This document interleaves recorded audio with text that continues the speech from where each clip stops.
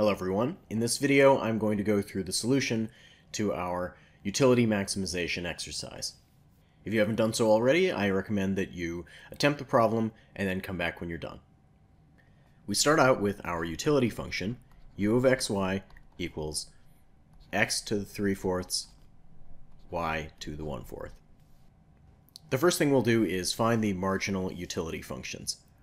For the marginal utility of x, we take the partial of the utility with respect to x. The 3 fourths comes down, and then we subtract 1 from that. 3 fourths minus 1 is negative 1 fourth, and then the y just comes along. We do the same thing for the marginal utility of y. Partial with respect to y. The 1 fourth comes down this time, the x comes along, and for the y, 1 fourth minus 1 is negative 3 fourths. Next, we are going to write out our marginal rate of substitution of x for y. You could also do the marginal rate of substitution of y for x as long as you stay consistent later on. To do this, we take the marginal utility of x divided by the marginal utility of y.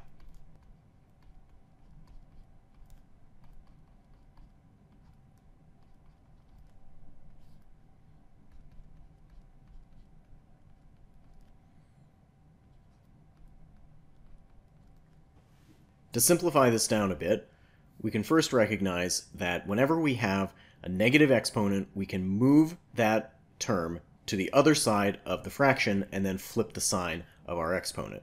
This means our x to the negative 1 fourth is going to come down to the bottom, and our y to the negative 3 fourths is going to come up to the top. What we get here is 3 fourths. Now we have our y to the fourth, but in addition to that, we've moved our y to the 3 fourths up to the top and flipped the sign of our exponent. On the bottom, 1 fourth, x to the 3 fourths. Now we've moved our x to the 1 fourth down there. This is also a good time to simplify our coefficient.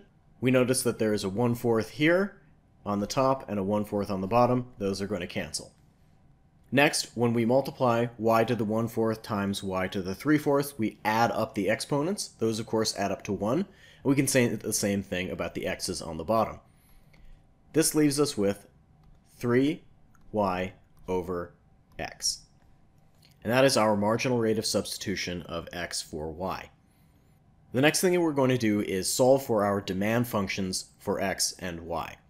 To do that, we are going to have to set up our system of equations. This is where our budget line comes in. pxx plus pyy equals m. That is to say that our total amount spent on x plus our total amount spent on y needs to add up to our total income of m.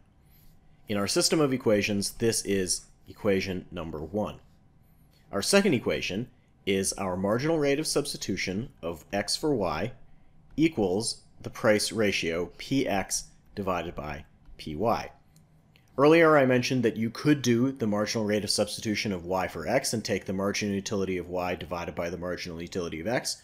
If you do that, then you're going to have to flip the price ratio as well. You'd have py over px. As long as you keep it consistent, then it does not matter which way you do it. This is going to be equation number two.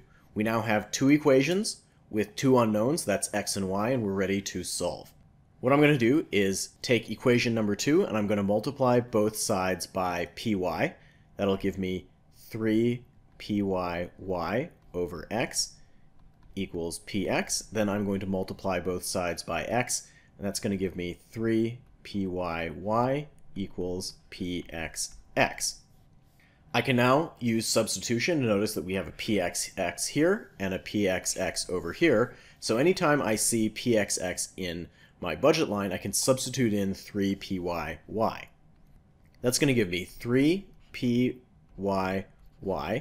plus pyy equals m. I can combine terms to get 4pyy equals m. Divide both sides by 4py, and that'll give me y equals m over 4py. That is my demand function for y. To finish this off, I can now take that y and plug it into either of my equations and solve for x. I'm going to use the budget line. So we're going to have pxx plus pyy, but we now know that y is m over 4py equals m. py's cancel, and we're left with just m over 4 over here. I'm now going to subtract m over 4 from both sides, which will give us pxx equals 3m over 4. Now just divide both sides by px, and that's going to give me x equals 3m over 4px. So our demand functions are going to be y equals m over 4py, and x equals 3m over 4px.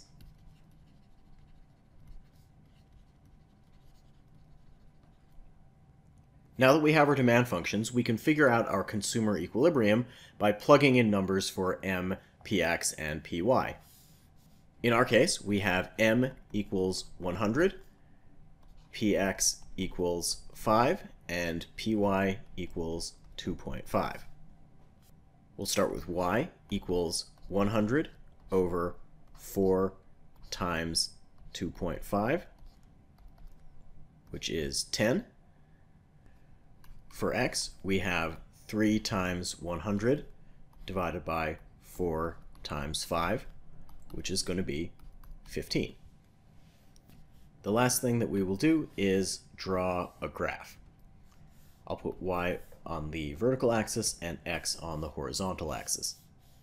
To draw the budget line, we first need to plug the numbers into our budget line equation. So we have px is 5, so we have 5x plus 2.5y equals 100. To figure out the y-intercept for our budget line, we can plug in 0 for x, which gives us 2.5y equals 100. y equals 100 over 2.5, which is 40. So we have 40 over here. If we then plug in 0 for y, we get 5x equals 100. Therefore, x equals 20. This means our x-intercept is going to be 20. I'll draw my budget line in like so. This means our budget set is the whole area inside of that line. Next, we'll mark out our consumer equilibrium. We had 10y and we had 15x. So our equilibrium point is going to be right here. We can then sketch an indifference curve. We don't know exactly what it looks like, but it'll be something like this that will be tangent to the budget line at that point. We also have to make sure that when we draw this, we are following the rules of indifference curves, which means that we can't have one that sort of curls back like this uh, or up like this. They can't look like that. To finish this off, let's figure out exactly which indifference curve we are on. For that, we need to figure out exactly how much utility our consumer is getting, so we can plug in our numbers into the utility function. We have 15x and 10y. So we have 15 to the 3 fourths times 10 to the 1 fourth. Plug that into my calculator and get 13.55. This means the particular indifference curve we are on is the one for u equals 13.55. Of course, that number by itself doesn't really mean anything. It just means that all of the bundles on this indifference curve give us the same utility of 13.55, but if we were to be on a higher indifference curve like this one, all these bundles would give us more than 13.55 utility. And that's all there is to it. This might seem complicated at first, but once you've gotten a few of these under your belt, they're not so bad. If you have any questions, please let me know. Thanks for watching.